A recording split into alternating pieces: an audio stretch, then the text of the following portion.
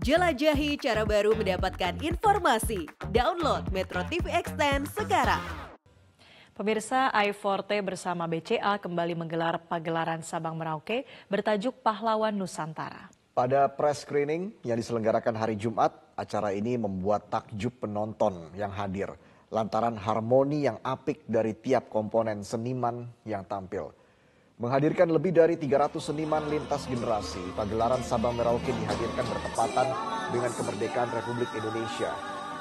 CEO dan Presiden Direktur i4T dan Protelundo Group Ferdinandus Amin Santoso mengaku pemilihan tajuk dalam gelaran kali ini ingin meningkatkan kesadaran generasi muda di Indonesia akan peran pahlawan.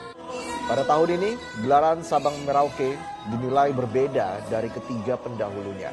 Selain menggandeng 300 seniman yang tampil, total pengunjung yang diprediksi hadir mencapai 10.000 penonton.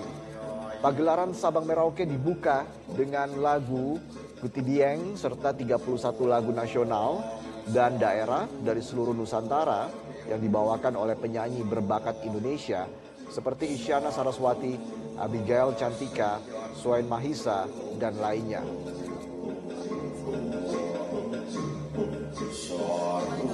ini kita bikin tema pahlawan Nusantara ini untuk mengingatkan pada generasi muda ya, di Indonesia. Karena sebagian besar sekarang ini kan kita ini generasi muda di sini.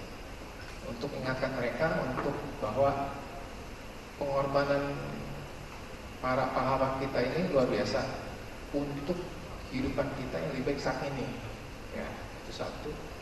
Kedua juga e, mengingatkan mereka untuk bisa menjadi pahlawan